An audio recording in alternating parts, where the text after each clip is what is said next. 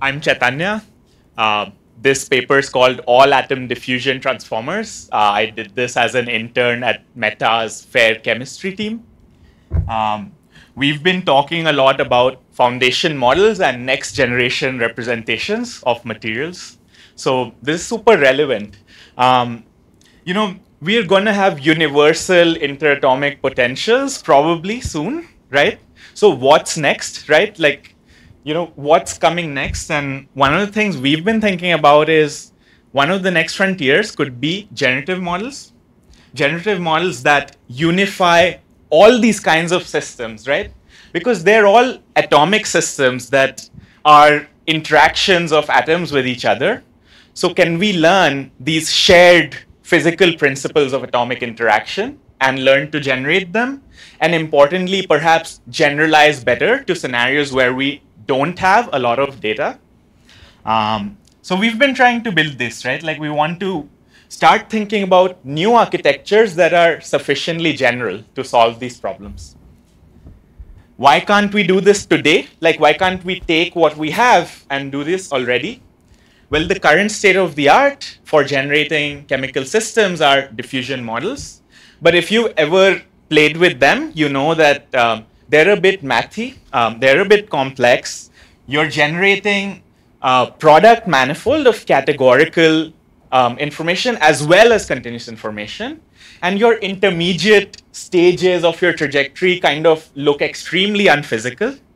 Um, and when you start doing more complicated things, when you start generating crystals, you start caring about periodicity, and then you need to start caring about floating point values with extremely specific ranges. Your losses look quite scary.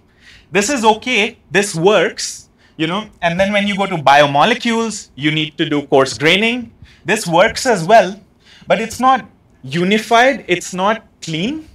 And we want to think about how we can bring all of this together. So here's what we're thinking about, right? How do we build a model that can be used to sample, generate, perhaps condition on all kinds of chemical, chemical systems, and importantly, generalize and transfer across modalities? There are a few key ideas. The first one is simple. It's all atoms. This is not original. We are seeing this for predictive modeling, right? People are sort of able to train uh, predictive models where they embed molecules, crystals, perhaps biomolecules, all in the same latent space, and you see improvements across tasks. So this is exciting, and we know how to do this, right? we know geometric or equivariant graph neural networks are a really good fit. They work, they learn the physical symmetries and inductive biases in your data, right? And they kind of work this way. You can learn a per atom latent space, right? Um, and what's new and what's quite fresh is you can also throw all that away and you can throw pure transformer and compute at this problem. And you can often you know, you can often get the same performance, perhaps even better performance. And this is a really nuanced question, but you know, people have started talking about whether equivariance is dead.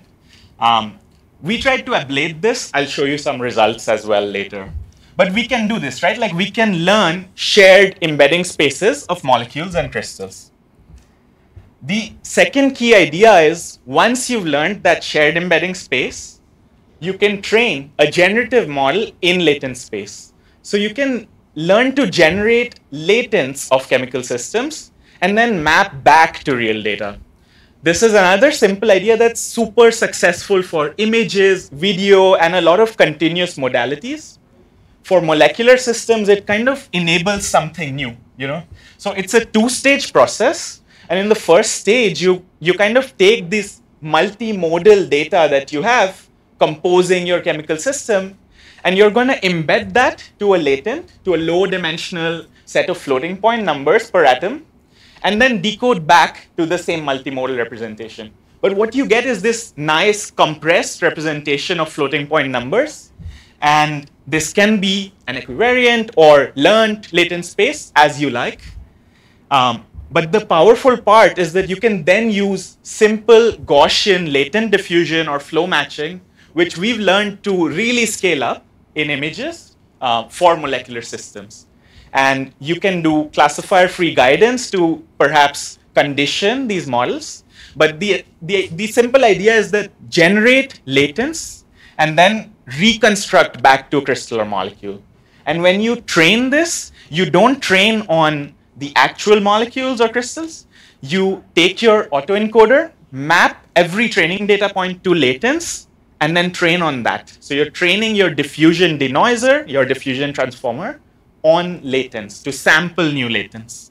And then during inference time, you can sort of reconstruct from latents back to real um, systems. Idea three, um, and what we want to convey is doing this leads to some notion of transfer learning, some notion of generalization across chemistries, some notion of, you know, it's all atoms and we can benefit from thinking about things as all atoms. So here, right, what I want to say is systems like AlphaFold, right, they they also present like unified models, but I feel like they never showed transfer learning, this notion of like learning and improving across different data modalities. Yes, you can bring it together, but do you improve? I think that's a sort of architecture or representation learning question. So the dream would be to sort of sample the entire chemical space, right? Um, obviously, this was an intern project, so we started with like more modest stuff, uh, small molecules from QM9 and uh, materials project crystals. And we start to benchmark really standard stuff like unconditional distribution learning and sampling from our model, just to see whether you can generate physically realistic and stable structures. So people already talked about these metrics, um, and I think a lot of people would sort of be aware of them. Um, so I want to like quickly give you the main messages here. Um, what we found, right, firstly was when we train these um, ADiTs, these uh, diffusion transformers, they can perform as well or better than equivariant diffusion as well as language modeling based approaches. Um, and importantly, when we ablate equivariant variants versus non-equivariant, we found that the non-equivariant ones were doing better. If you know me, then you know like this broke my intuitions as well. And then when we scale up, right, like when we now sort of train jointly, then we saw that this joint training further boosted performance a little bit, which, which we are pleased to see as you know like some notion of starting to see transfer learning and generalization here. Um, oops. And we have similar messages for molecules as well. The results are very similar. You know, again, like the sort of non-equivariant version of the model does better and benefits from transfer learning. Um, which is again uh, quite exciting. Um, here are some samples, like of course it can generate like somewhat realistic stuff. Um, this is, you know, obviously like we'd like to condition this and we'd like to make this practical, but as I said, we want to show like this proof of concept here. Um, and the last key idea is, so I'm not completely scaling build, but I think when you have a lot of compute, it breaks some intuitions that you might form at academic scale. And I want to like share that with you as a fellow academic. Okay?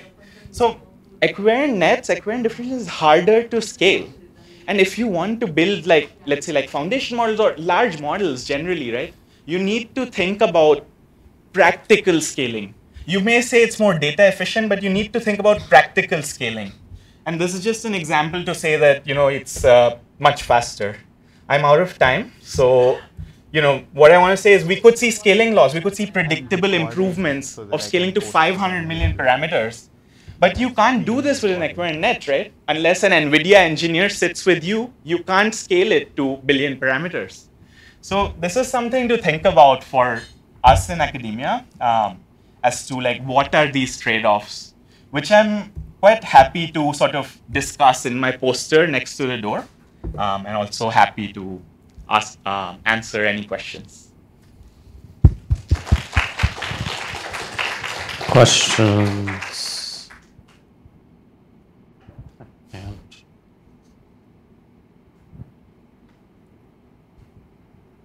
Okay, thank you for a great talk. Uh, I have another question. Um, Uh, you speak about uh, that equivariant GNNs uh, are less scalable than uh, transformers.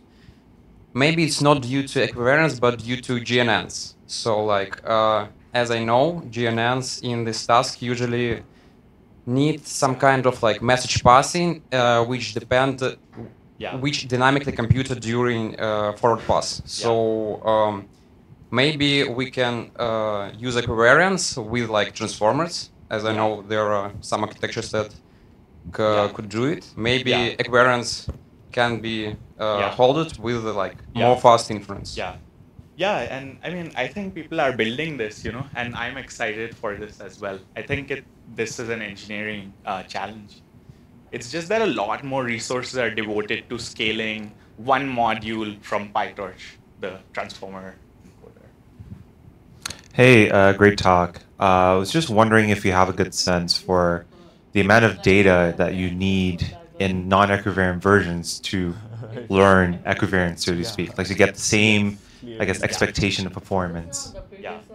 Um, Yeah, must be some Eastern European. You have some. I think I think it doesn't matter because you know like you can infinitely rotate your samples and empirically unfortunately empirically we have seen that rotational symmetries are really quick to learn you know like learning rotational symmetries doesn't seem to be as hard as we thought so i feel like it it it's not really a question of like how much data we need to be honest like this is just my intuition building these models yeah Okay, ending on an open question. That's always great for future research. Let's thank Chaitanya one more time.